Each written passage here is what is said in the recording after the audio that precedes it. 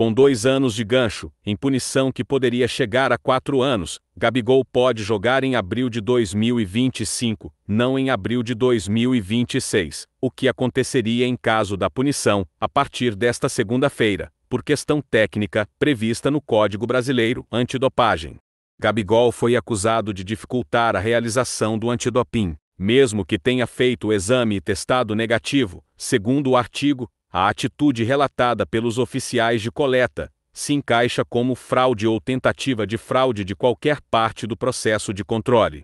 Um dos relatos da denúncia diz respeito à demora do atacante para a realização do exame e o não cumprimento das instruções. De acordo com os responsáveis pelo exame, o jogador não se dirigiu a eles antes do treino depois da atividade os ignorou e foi almoçar, tratou a equipe com desrespeito, não seguiu os procedimentos indicados, pegou o vaso coletor, sem avisar a ninguém, irritou-se ao ver que o oficial acompanhou até o banheiro para a coleta e ao fim entregou o vaso aberto, contrariando orientação recebida.